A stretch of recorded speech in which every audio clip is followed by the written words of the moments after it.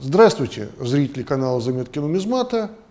Сегодня мы подведем итоги конкурса, который я объявил чуть больше недели назад. И напоминаю вам о призе этого конкурса 5 копеек 1788 года, времени правления Екатерины II. Монета достаточно хорошей сохранности, с хорошими деталями рельефа, остаточным чеканным блеском. Я думаю, что монета порадует победителя конкурса. Ну и напомню вам вопрос. Только, пожалуй, сначала сделаю одно важное замечание. Больше 40 ответов было подано. Из них несколько правильных. Большинство людей просто переписывали данные о тиражах из каталога. Но давайте вместе с вами подумаем, задавал бы ли я вам вопрос, если для ответа на него нужно было просто открыть какой-нибудь справочник. Наверное, просто неинтересно. Однако в любом вопросе часто содержится подсказка на ответ. Те, кто эту подсказку услышал, конечно же, ответили правильно.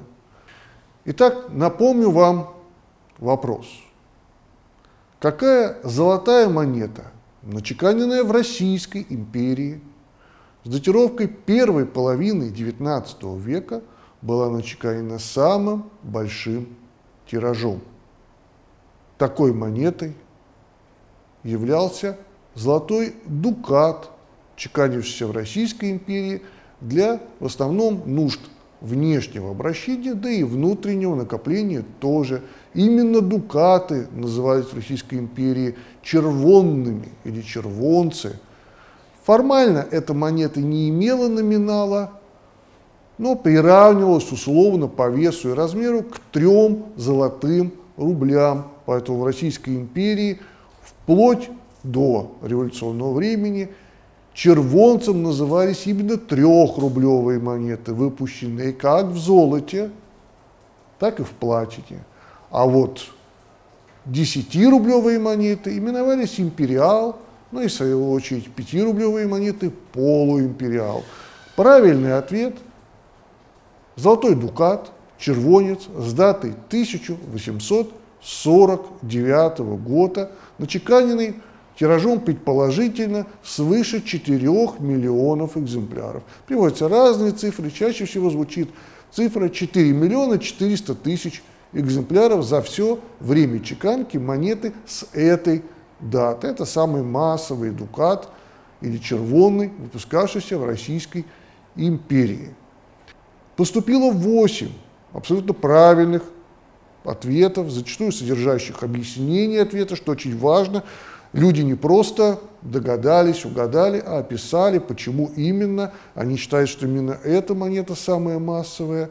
И мы коллективом канала приняли решение поощрить всех давших правильный ответ. Ну, главный приз у нас один, и он достанется тому, кто ответил самым первым, как и требовалось по условиям конкурса, а остальные получат поощрительные призы, выраженные в серебряных монетах времени правления Николая II, малых номиналов 10, 15, 20 копеек, которые будут предоставлены желающим, то есть семи правильно ответившим. Я могу назвать ники победителей, ну, насколько верно их смогу прочитать. Вы уж извините, если в каком-то нике я немножко ошибусь, так как, естественно, лишь читаю англоязычные подписи. Итак, Лев 713 получает поощрительный приз, серебряную монету времени правления Николая II, Эклипс-67, также ответивший 14 мая, получает поощрительный приз – Портор Геймс. Извините, если неправильно произнес, но я думаю, что владелец ника узнает себя и сможет написать. Ответил он 13 мая в 15 часов 50 минут. Также получает в виде поощрительного приза серебряную монету времени правления Николая II. Post for Games на Яндексе, ответивший 13 мая в 15 часов 50 минут, поощряется серебряной монетой времени правления Николая II. Андрей Ефор на Яндексе 13.05 ответивший а, в 10 часов 10 минут.